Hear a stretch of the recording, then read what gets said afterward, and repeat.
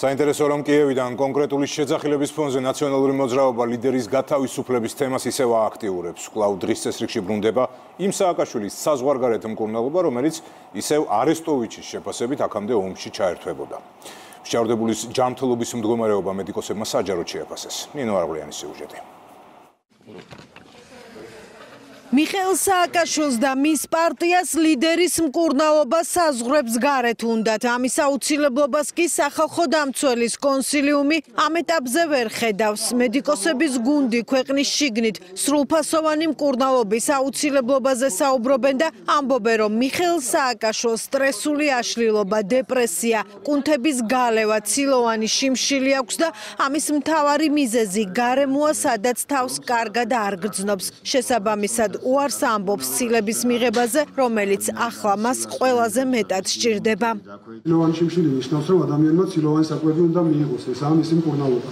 მაგრამ ცილოვანი შიმშილი რატომ არ იღებს ის ცილოვან საკვებს? ამბობს, რომ ეს პოსტტრაუმული სტრესული აშლილობის გამო არ იღებს ცილოვან საკვებს, ეს მისი სიტყვებია და არ შეუძლია პოსტტრაუმული სტრესული აშლილობის ნეიროფსიქოლოგიური რეაბილიტაცია მიიღოს იმ სიტუაციაში ხალხისგან, ვინაც ეს პრობლემა გამოიწვია მასთან. თავი რეკომენდაცია რეკომენდაცია არის საზღვარგარეთ არა მაგის რეკომენდაცია მე როგორ შემიძლია გავცე? მე ვამბო მე ვაკეთებ ფაქტის კონსტატაციას. ადამიანს აქვს ცილოვანი შიმშილი. ცილას არიღებს ადამიანი უკვე კარგავს კუნს ანუ იმ საშენ მასალას რითაც ორგანოები არის აშენებული შესაბამისად უკვე თავის თავს იდენებს ადამიანი ამ რეჟიმში ვარ ჩაყოლებული უკვე 8 კილო დაიკლო აქედან ძირითადად 8 კილო არის კუნთოვანი მასა საკმაოდ ძიმე მაჩვენებელი არის.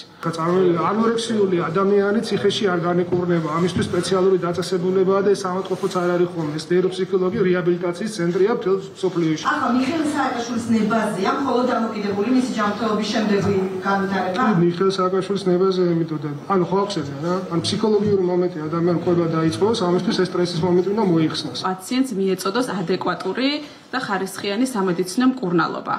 აა როგორ მოხდება ეს? რა ფორმით მოხდება ეს არის ისევ და ისევ ექიმების და დარგის ექსპერტების გადასაწყვეტი მიხეილ სააკაშვილის ჯანმრთელობა ნომერ პირველი საკითხია მის პარტიაში, თუმცა ნაციონალური მოძრაობა მხოლოდ საზღვარგარეთ მკურნალობას განიხილავს. სამომავლოდ კი განკურნებული ლიდერი პარტიას უკვე ციხის გარეთ უნდა. ეს პირველ რიგში საჭიროა მკურნალობა. რა თქმა უნდა, ჩვენი მთავარი მოთხოვნა არის და იქნება მიხეილ სააკაშვილის თავისუფლება, მაგრამ ჩვენ პირველ რიგში ვსაუბრობთ იმაზე, რომ გადარჩეს მისი სიცოცხლე. ნაციონალური მოძრაობის მოთხოვნები სხვა ოპოზიციური პარტიების სურვილებს ამჯერადაც არ დაემთხვა.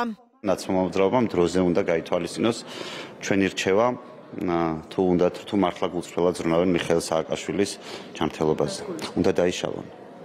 და მიხეილ სააკაშვილი გადაიყვანა საზღვარგარეთ სამკურნალოდ ამის შემდეგ. მე ვხედავ მიხეილ სააკაშვილის თემით საშინელ სპეკულირებას პირველ რიგში სახელმწიფო გუნდის მხრიდან და მეორე რიგში მისი ყოფილი თუ დღევანდელი პოლიტიკური გუნდის მხრიდან. ღირსეულ სახელმწიფოში სახელმწიფო ორგანოები თავად მოიწევდნენ საერთაშორისო ობიექტურ სამედიცინო კონსილიუმს რომელიც გაარკვევდა სიტუაციას მიხელ სააკაშვილის ჯანმრთელობის უკან სულ სხვა პოლიტიკურ მიზნებს კითხულობს ქართული ოცნება. სახელისუფლებო გუნდი დარწმუნებულია, რომ სააკაშვილის თავისუფლება სამხედრო კონფლიქტში ჩართვას ნიშნავს და დარწმუნებულია იმაშიც, რომ მისი სიცოცხლე და უფლებრივი მდგომარეობა კითხვის ნიშნის ქვეშ არ დგას, რადგან სხვა შემთხვევაში სტრასბურგი მის საქმეზე წარმოებას არ შეწყვეტდა.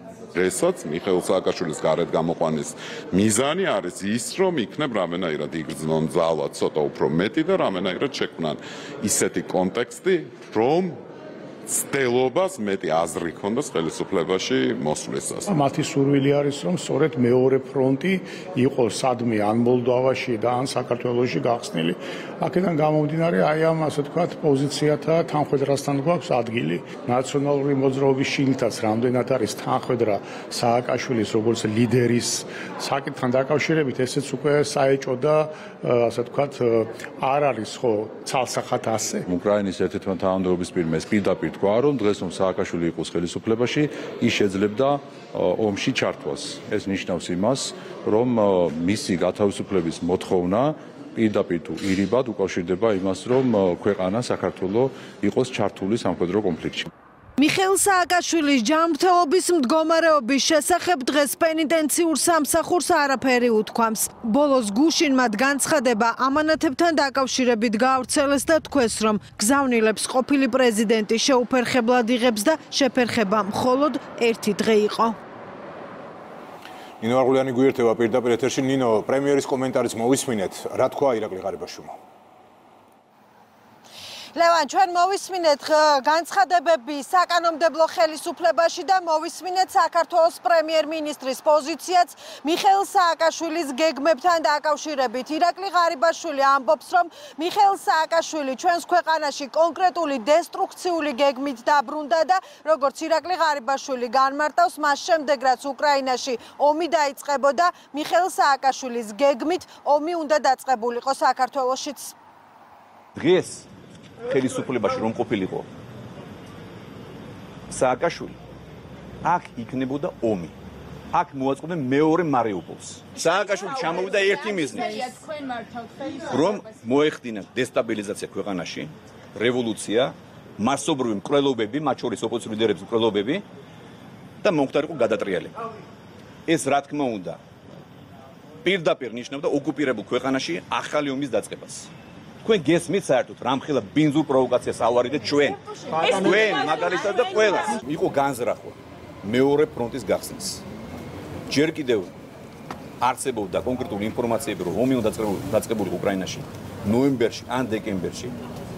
სწორედ ამ მიზნით ჩამოვიდა სააკაშვილი რომ ასე ვთქვათ აქედან ყოფილიყო მზაობა მეორე ფრონტის გახსნას მიხელ სააკაშვილის პოლიტიკურ გეგმებთან დაკავშირებით მისი თანაგუნდელები არ საუბრობენ და არ საუბრობენ მათ შორის სააკაშვილის ადვოკატები, რომლებმაც დღეს პატიმარი რუსთავის ციხეში მოინახულეს და პატიმრის მონახულების შემდეგ მხოლოდ ის თქვეს, რომ სააკაშვილის მკურნალობა ციხის გარეთ უნდა გაგრძელდეს და ეს რაც შეიძლება მალე უნდა მოხდეს. დიდი მადლობა ნინო ეს ნინო არღულიანი იყო.